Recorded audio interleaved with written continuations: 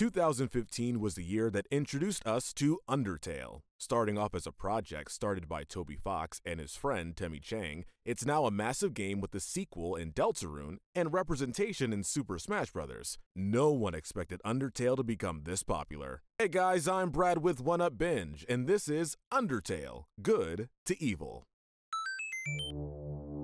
With introductions out of the way, we can start off with the best characters on our list. These are the good. Earning our gold medal of good is Toriel. Toriel is the second major character you meet in any run of Undertale, and she's the caretaker of the ruins. She was once queen of the underground, but after the death of her children, she gave that up and hid in the ruins. Toriel is a perfect example of a good person and the closest the game has to an angel, technically. She saves the player from Flowey, gives them a cell phone, and houses the player, intending to protect them for a long time. She kinda clings to the player and doesn't want them to leave her home, but being alone so long does things to people, so we can't really blame her. In one neutral route ending, she becomes a loving queen once more to help the underground, and in the true pacifist ending, she seemingly adopts the player. Toriel's worst crime is caring too much, and she doesn't have a killer bone in her body, because she's mortified if she somehow kills you. Taking the silver medal of good is Papyrus. The Great Papyrus, as he prefers to be called, is a skeleton and the younger but taller brother of Sans. Papyrus is a great guy in general. Sure, he gets angry at Sans for being lazy, but he's just trying to see his brother do what's best. Papyrus is a puzzle fan, making many puzzles for the player to go through. Initially, it seems like he's aiming to kill the player, but unlike any other character, upon defeating the player, he just captures them and locks them up for a moment, and after three times, just lets the player pass. Papyrus is very nice and really just wants friends and to be in the Royal Guard, even if they do hunt humans. But he doesn't seem like the type to harm anyone, let alone a human child. The Bronze Medal of Good goes to Burger Pants. Burger Pants is a late game secondary character who's the vendor at the MTT resort. In general, Burger Pants is a nice guy who just absolutely hates his job. He's shown to be heavily stressed out but still uncaring towards his job, even enough not to run in the genocide route. Burger Pants deserves more than what he's given, and he's willing to listen to the player, even if it bores him half to death. Burger Pants is a great guy for the most part, hence why we rank him here on our list. Next is the ghostly DJ Napstablook. Napstablook is a ghost and the cousin of Mettaton. He's an aspiring DJ and musician, and is a nice guy, all told. When the player faces off against him, Napstablook will lower his HP, but doesn't take any actual damage due to being incorporeal. He even saves the player from the mad dummy during their fight late in the game and tries to befriend the player. Napstablook's also a shy person who pretends to be asleep when the player first comes around. But all in all, Napstablook is a really nice guy, no matter how you slice it. Next on the list is Monster Kid. Monster Kid is exactly what it says on the tin. They are a child the player finds in the underground. They also seem downright obsessed with Undyne and the Royal Guard. This leads to him doing many dumb things to try and meet Undyne, not even realizing that the player is human. Monster Kid falls in the trap of being just a kid and not understanding the world around them as much as he should. And if it wasn't for the fact that they were so young, Monster Kid may fall lower. As it stands, they're a good kid. Next is Undyne. Captain of the Royal Guard and the Underground's fiercest warrior, Undyne is someone who takes her job very seriously. She chases the player throughout Waterfall, trying to capture and or kill them, as is her job. Undyne ends up fighting the player, and if they save her, she tries her best to make friends with the player. However, she's a fighter in spirit, and even if you become friends with her, she'll fight you day in and day out, because she just absolutely loves fighting. She also ends up dating Alphys by the end of the game because they get along really well, especially considering their major differences. Undyne tries consistently to kill the player, but you can't really blame her when not only is it her job, but she was raised to believe it would help monster kind. During the genocide route, she risks her life to save Monster Kid and then uses all her might to kill the rampaging player. She can't fall any lower because, all in all, she's just doing what's right. Ending off the good section is Sans. Sans is the most memed on character in Undertale and has become highly popular on the internet. Sans is a lazy skeleton and the older brother of Papyrus, who's closely related to the royal guards like Papyrus is. He appears consistently after the player enters Snowdin for the first time, where he teleports around and surprises the player. He's known for his jokes and puns, and all of his inane japes. However, while he says the only reason he doesn't kill the player is his promise to Toriel, it's shown that he doesn't usually hold any hatred towards the player. However, he's one of the few characters who are acutely aware of how many times a player resets the game, dies, or anything of that nature. Sans doesn't show his full hand until the Genocide run, in which he is the final boss. During this run, he's definitively stronger than you, the player, as he holds the final hope of the Underground and is the literal harbinger of karmic justice. Now, despite trying to slay the pure evil that is the player in a genocide run, he doesn't really boot up his full power unless you've literally killed everyone else. You could leave one Vulkin alive or just Jerry and he won't kill you. Instead, he'll call you evil and let you pass. Sans would rank higher if he acted up more often, but obviously, that wasn't the case. With our good guys out of the way, we need to talk about the true neutrals. This is the gray area. Starting off the gray area is Toby Fox. Now, don't be confused. By Toby Fox, we mean the annoying dog, that white little rascal that wanders throughout the game. It's confirmed that the annoying dog is a representation of the creator, Toby Fox, and throughout the game, he really lives up to his moniker of annoying dog. Most of his appearances are him just taking things like Papyrus's devastating final attack or just being there for moral and emotional support. It's implied that the dog may be godlike in some ways, at least in the Deltarune universe, and is a creator of some kind. If he had more substantial appearances, he may rank somewhere on this list. Next is the player, Frisk. The player ranks dead center in our list for a good reason. This is the only character whose actions are completely dependent on the person playing the game. While we only learn the name of Frisk in the True Pacifist run, they are still beholden to the player in every run. With the game having three major routes one can take, Frisk's entire personality shifts between which version you're playing. The neutral route features the most amount of differences per player because who lives and dies is completely up to the player. So we'll focus on the two main routes. The true pacifist run version of Frisk is an angel in human flesh, friends with everyone, and a lovable character who sometimes flirts a bit too much. Meanwhile, in the genocide run, Frisk murders hundreds of monsters, including some of the most recognizable and likable characters in the game, becoming, ironically, a monster themselves, but in the figurative sense. Sure, some fan theories claim that Frisk is possessed in that run, but as far as we're concerned, the player is the one responsible for everything, and therefore ranks here dead center. Next on our list is Chara. Now put away your torches and pitchforks and let me explain this. Chara is the first human who fell into the underground after it was sealed off, and is by far the most controversial character to rank. Chara fell into the underground and was adopted by the Dreemurrs, where they grew up quite happy with their new brother and family. They died long before the actual events of the game, but we see plenty of their story,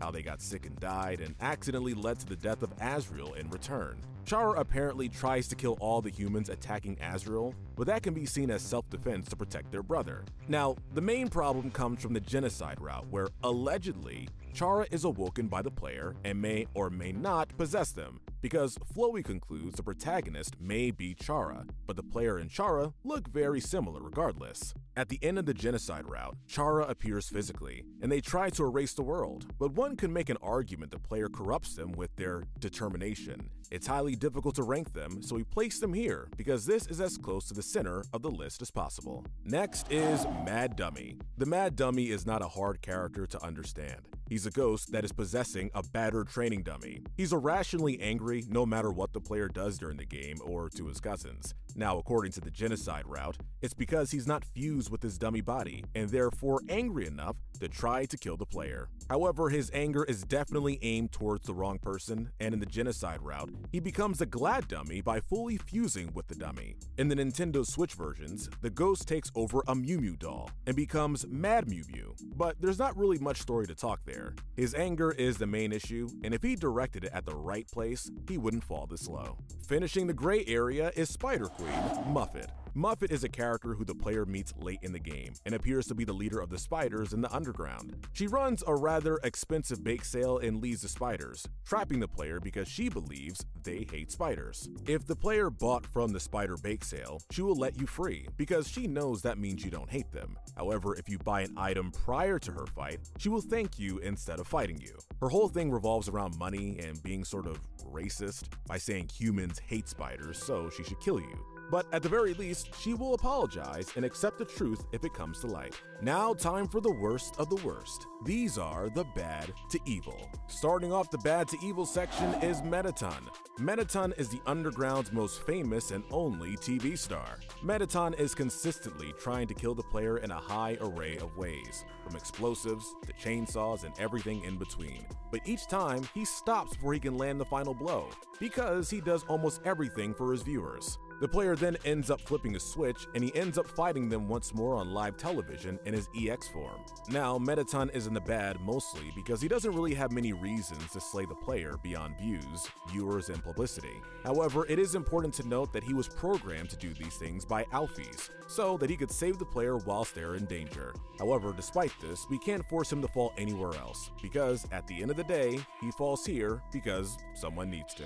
Next is Asriel Dreemurr, Prince of the Underground and son of Toriel and Asgore, Asriel died long before the events of the game. He became very attached to the first human to fall in the underground, Chara, becoming their best friend and brother. When Chara died, Asriel fused with their soul and tried to take them to their village to rest. This leads to his death because while Chara wished to kill them all, he instead didn't want to. And while on the surface, this leads many to believe he would rank higher, there is one major caveat. Even though we're splitting up Asriel and Flowey, and the true pacifist run, Asriel steals all the souls of every creature in the underground and then tries to kill the player, even after he believes them to be his sibling Chara. He becomes the god of hyperdeath and intends to destroy the universe and reset it back from the beginning to have a happy ending. He doesn't fall in the bottom three because he's still a child at heart, and as such, doesn't know what's best. But that doesn't mean he wasn't planning to destroy the universe, and should be ranked as such. The Bronze Medal of Evil goes to Alphys. Now, Alphys initially doesn't seem so bad, kinda nerdy and embarrassed, and even quite helpful at first. However, we learn very quickly that this is not the case. She has dozens of cameras all over the underground that she uses to essentially stalk the player and maybe even spy on inhabitants in Undyne.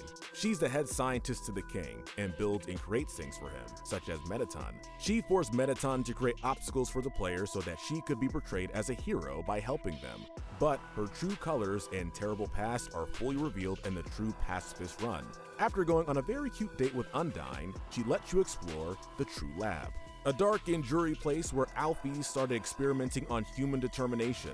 This led to the hard creation of the Amalgamates, creatures created by fusing dying monsters together. It's assumed that she'd be hiding this for a while and only comes out with the info once the player finds out, meaning she would likely hide it for the rest of her life.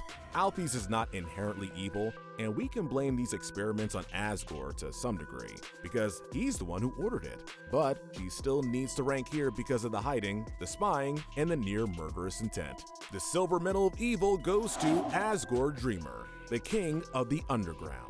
Asgore was Toriel's ex-husband and the current king of the underground, who's trying to break open the barrier so that monsters could go amongst the humans. Now, initially, he didn't want to do this until the death of his children, and while the fandom has brought up other ways he could have done this, we're not going to get into those. Asgore became a ruler that is feared by many, especially humans, killing any human who comes around and taking their souls so he can destroy the barrier.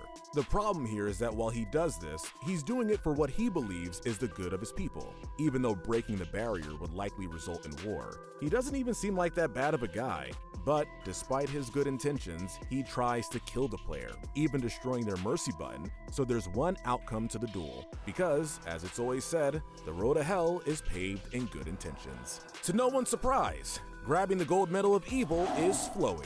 Flowey is the first character the player meets in the game. In fact, you meet Flowey within the first few steps. Flowey tries to play it off as a fun and cute flower that would never hurt you, introduces you to the game's mechanics, and then tries to murder you.